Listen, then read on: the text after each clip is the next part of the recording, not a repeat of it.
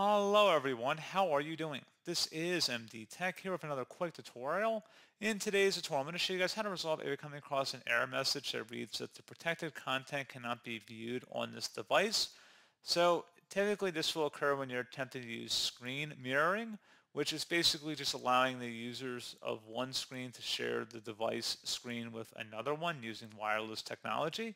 So if you're coming across this error message that it's unable to be viewed on this device, in today's tutorial I'm going to show you guys how to hopefully resolve that without too much of a hassle and we're going to go ahead and jump straight into it.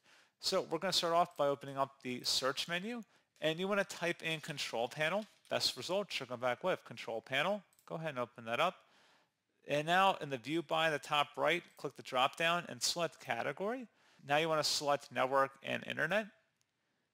Select where it says Network and Sharing Center. On the left side, select Media Streaming Options, and then you will need to turn on Media Streaming, so go ahead and toggle that to the on position. You want to check mark where it says Show Devices On, click the drop down and select All Networks. And then once you've done that, select OK.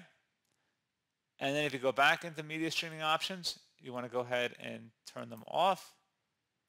Select OK and then turn it back on one more time. So we're going to turn it back on and then select OK. And that's all you have to do. So pretty straightforward process, guys. And as always, thank you for watching. I do hope I was able to help you out. And I do look forward to catching you all in the next tutorial. Goodbye.